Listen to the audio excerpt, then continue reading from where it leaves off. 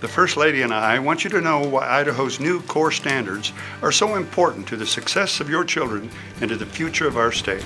Yes, the new standards require more of our students than previous state standards, but employers are looking for candidates with strong critical thinking, writing, and problem solving skills.